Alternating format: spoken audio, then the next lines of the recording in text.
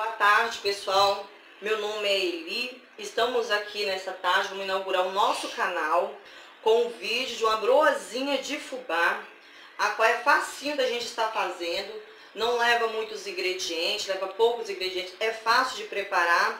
E hoje nós vamos estar inaugurando o nosso canal com este vídeo. Já peço desde o começo a vocês por favor, aqueles que puderem dar um like, dê um likezinho, comenta, compartilha, porque nessa dessa quarentena, esta broazinha é o ideal que a gente está fazendo para tomar o nosso cafezinho da tarde, já que a gente não pode ir na padaria. E para os ingredientes para a gente fazer a nossa broa, nós vamos precisar, eu utilizei esta xícara aqui, ela tem 150 gramas, nós vamos usar duas xícaras de fubá, duas xícaras de trigo, uma xícara e meia dessa daqui de açúcar. Eu estou utilizando aqui açúcar refinada, mas você pode estar utilizando a comum mesmo. É porque aqui em casa tem a refinada, eu vou estar utilizando ela. Nós vamos precisar de três colheres bem cheias de margarina, da sua preferência, dois ovos e aqui tem também duas gemas já batidinha, porque nós vamos precisar para pincelar as broazinhas quando colocar no forno e uma tampinha de fermento e também nós vamos estar utilizando uma xícara de coco. Essa xícara de coco é coco fresco, a qual a gente pegou ali no quintal, ralamos, e, mas você pode estar também utilizando o coco do mercadinho mesmo, aqueles que vêm de pacotinho, ou até mesmo você pode estar colocando nessa receitinha erva doce, mas erva doce, aqui em casa ninguém é muito assim chegado, nós vamos estar colocando coco. E ali também, não sei se eu falei, né, porque é o início, a gente fica nervosa assim mesmo, vou colocar também uma xícarazinha de leite, vou estar utilizando para molhar massa. Vamos embora aprender como se faz essa broazinha? Primeiro você vai colocar numa bandeja, numa vasilha redonda, bem espaçosinha, tá? Não pode ser apertadinha não, depois você vai ter que mexer com a mão, senão vai fazer bagunça de sua casa. Duas xícaras de fubá, duas xícaras de fubá, duas de trigo. Primeiro nós vamos estar colocando aqui, pessoal, os recheios secos, tá? Os ingredientes, o ingrediente seco. Depois a gente vai colocar os molhados, que a gente vai mexer com a mão, aí para não fazer muita bagunça. Aqui a gente já vai acrescentar o açúcar, que é uma xícara e meia de açúcar, de 150 gramas cada uma. E a gente vai dar uma mexidinha. Aqui vamos misturar tudinho direitinho. Para que os ingredientes venham se encorpar, né? Misturar. Para não ficar sem ser misturado direitinho. Porque toda receita, né? A gente tem que usar a criatividade. É o que você, você pega, faz do seu jeito.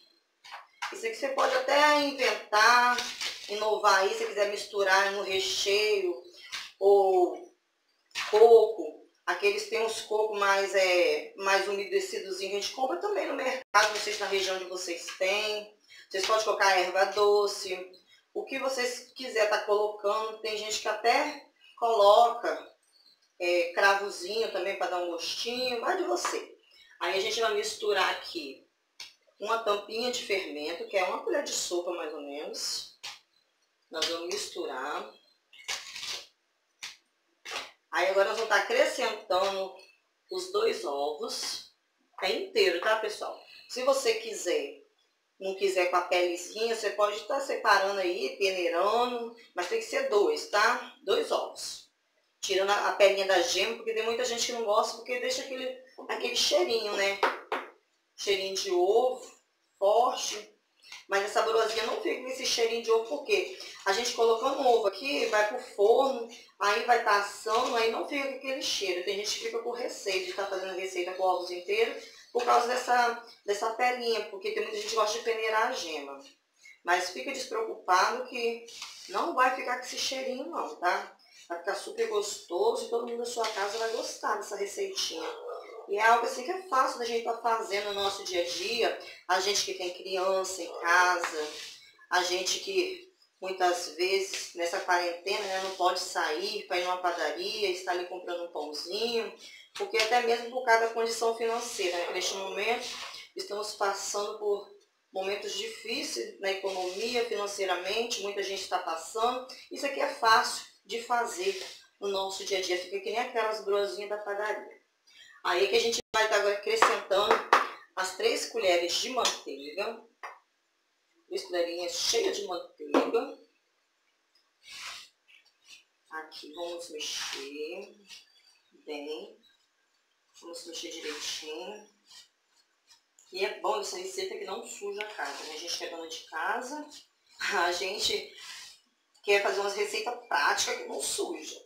Porque tem receita que suja tudo, mas se sujar, né, depois a gente dá um jeitinho. Tudo a jeito. Aí é que a gente vai mexer.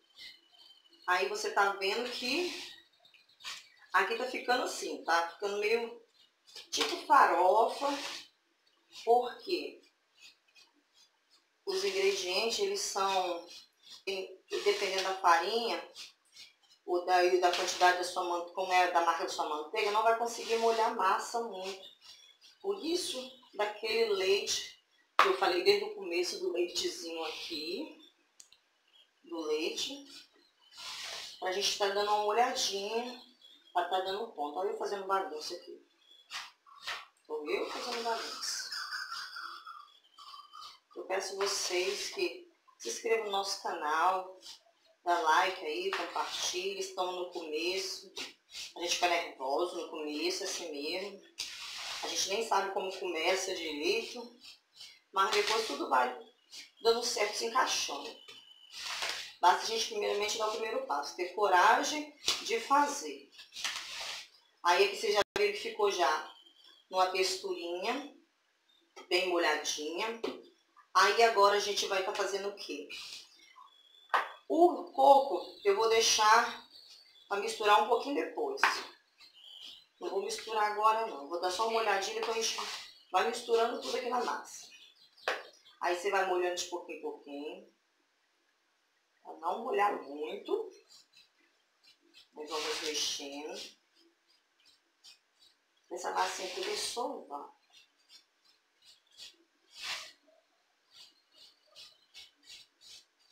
Aí, pessoal, eu vou... Olha, a pessoa dando, querer dar um pontinho. Eu vou parar de mexer. Vou aqui lavar minhas mãos rapidinho. Pra gente estar tá colocando a mão aí na massa. Pra gente tá amassando aí, sovando essa broazinha. Lava as mãos direitinho, né? Higiene da mão. Aqui a gente vai tirando. Aqui, ó. Já tá quase no ponto. A gente não vai utilizar esse leite todo, tá? Esse leitezinho aqui é só pra gente dar o pontinho na massa. Aí agora aqui eu vou jogar este coco. Essa broa tá uma delícia. Esse monte de coco aqui. Vai ficar perfeita. Aí a gente vai amassando aqui. Ó, vocês, vocês, viram, ó. Aqui o tanto de manteiga que eu coloquei. Aqui já tá, já tá no, quase dando ponto. Aí você tem, que, você tem que ir sovando até ela soltar da vasilha. Assim que nem quando faz pão, ela vai soltando assim da vasilha. Aí a gente vai sovando ela aqui. É que depende muito do, do trigo, depende muito da manteiga, de que marca que é. Tem muitas vezes que vai dar o ponto rapidinho. O leite, você viu o tantinho que eu usei, pessoal? Muito pouco leite. E já tá, ó, dando já o pontinho aqui da nossa broa. Ó. Neste canal, pessoal, eu tenho, eu tô querendo colocar vídeos assim, culinárias, receitas de bolos, de salgados. Muitas vezes fazer uma comidinha no dia a dia que a gente acha que é que é assim mais, mais é, assim, interessante passar para vocês. Tem muitas vezes que as pessoas, assim, muitos não sabem, né? Muitos não sabem fazer as receitinhas. Aí você está vendo como tá grudando a mão? Aí quando. Aí, mas aqui ela já tá, ó, soltinha. Soltinha da vasilha, tá vendo? Quando ela começar a grudar assim na mão, você volta de novo, lava sua mão e volta aqui que ela não vai agarrar mais. Só um momentinho que eu já volto, pessoal.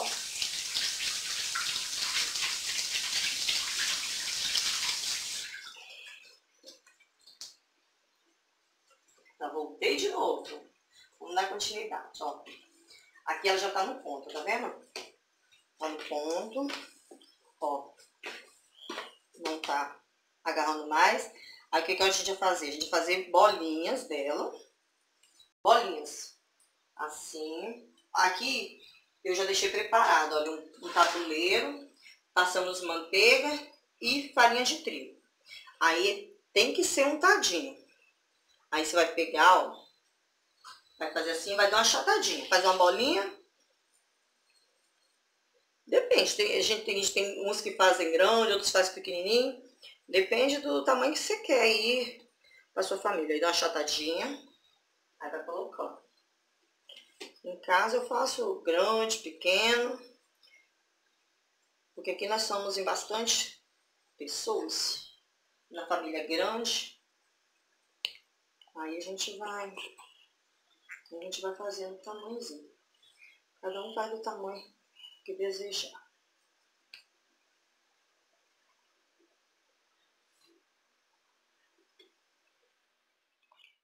Pessoal, já voltamos aqui, olha, aquela massinha que a gente fez o preparo, todo vocês acompanhou. Aqui eu já peguei, já fiz as bolinhas, nós modelamos já as broazinhas. E agora o, agora o seguinte passo é a gente pincelar a gema aqui nas broazinhas e o meu forno já está ligado ali a 200 graus. Vocês têm que assar essa broazinha a 200 graus, tá? Coloca o forno ali para pré-aquecendo ali, e depois só vocês pincelar o ovo e colocar no forno. Vamos pincelar aqui.